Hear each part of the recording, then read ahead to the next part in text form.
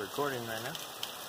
Hey, I want to give you guys a good, quick view of what a monsoon looks like. A little microburst. Uh, we got a quick, massive little downfall. Love you guys. Wish you're here.